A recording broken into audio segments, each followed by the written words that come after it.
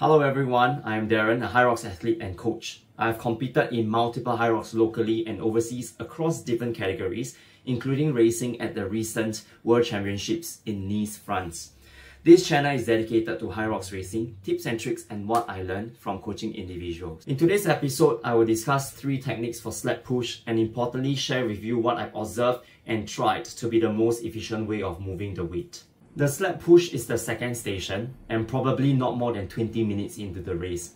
Therefore, most athletes are still feeling fresh and will attempt to clear the station as fast as they can, building too much lactate as a result and skyrocketing their heart rate during the push, eventually compromising the rest of the race, which is not ideal.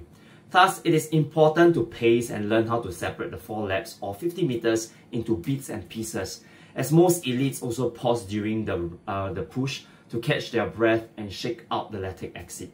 So learning from the best, I too split each lap into half and catch my breath before carrying on. After adopting this technique, I feel much better leading into the third run, maintaining similar pace as the first two runs. Also, I feel that one of the greatest pitfalls is taking too long a break after each lap at the line, so it's good to remind yourself to move once you feel good. Moving on, let me show you three different techniques.